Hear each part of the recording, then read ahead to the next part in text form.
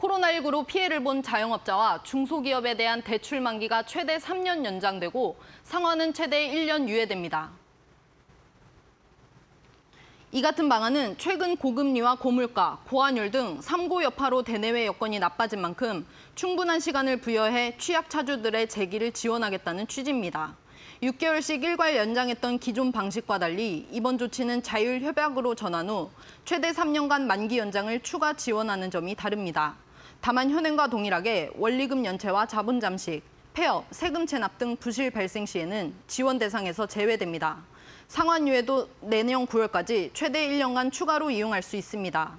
이에 따라 상환유예 차주는 내년 3월까지 금융사와 협의해 유예기간 종료 후 원리금에 대한 상환 계획을 수립해야 합니다.